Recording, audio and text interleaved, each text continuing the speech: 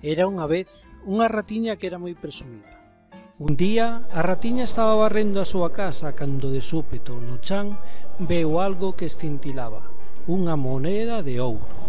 A ratiña recolleu na do chan e púsose a pensar que podería comprar coa moneda. Xa sei, comprarei caramelos. Ui, non, non, que me doerán os dentes. Pois comprarei pastéis. Ui, non, non, que me doerá a barriga. Xa sei, comprarei un laciño de cor vermella para o meu rabiño. A ratiña gardou a súa moeda no peto e foise ao mercado. Unha vez no mercado pediulle ao tendeiro un anaco da súa mellor cinta vermella para facer o seu lazo. Comprouna e volveu á súa casa. Ao día seguinte, cando a ratiña presumida se ergueu da cama, colocou o seu lazo na cola e saiu ao balcón da casa. Niso apareceu un galo de enorme cresta e vendo a tan fermosa díxolle Ratiña, ratiña, ti que és tan bonita, queres casar comigo?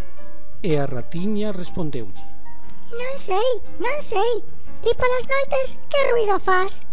E o galo respondeulle Cucurucu Ai non, non, contigo non casarei, que non me gusta o ruido que faz Foi o galo cacarexando E apenas uns minutos máis tarde apareceu un can que vendo a tan bonitiña preguntoulle Ratiña, ratiña, ti que és tan bonitiña e fermosa Queres casar comigo?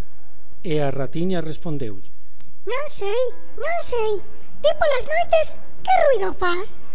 Wow, wow, wow, wow Ai, non, non Contigo non hai casar Que ese ruido asústame Foi o can moi tristeiro pero non tardou nin un chisco en aparecer un porquiño de ilustre cunha celta, que o vela tan repoluda e presumida preguntoulle fachendoso. Ratiña, ratiña, ti que es tan bonita, quererás casar comigo? E a ratiña respondeulle. Non sei, non sei, e ti polas noites que ruido faz?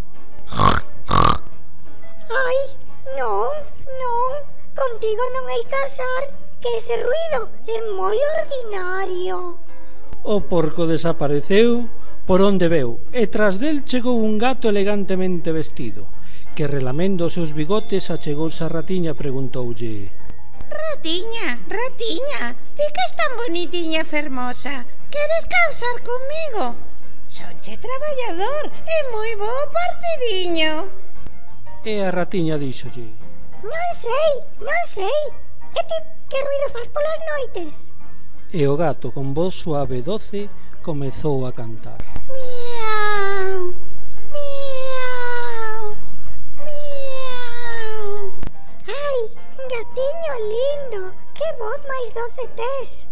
Daráme un placer inmenso quedar dormida escoitando a túa voz.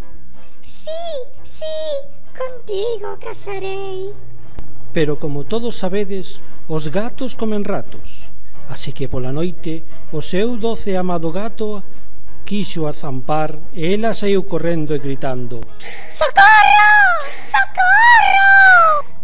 Xa recuperada do susto e despois de semanas metida na súa casa e desesperada porque non encontraba un pretendente á súa medida, volveu a sair á porta da súa casa e unha hora máis tarde pasou por ali un ratiño que o vela tan fermosa e fachendosa preguntoulle Ratiña, ratiña, pero que re bonita estás. Quererías casar comigo? E a gatiña preguntoulle. E pola noite, que farás? E o ratiño respondeulle. Dormir e calar, dormir e calar. Pois contigo hai casar. A ratiña presumida casou co ratiño e viviron felices.